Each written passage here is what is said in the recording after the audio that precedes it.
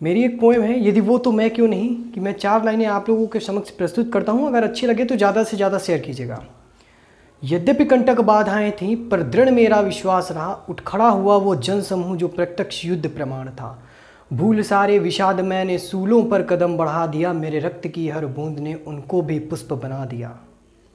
देख इस कृत्य को पृथ्वी भी ये बोल उठी, जो हुआ नहीं आज तक जग में, वो अब ही सही।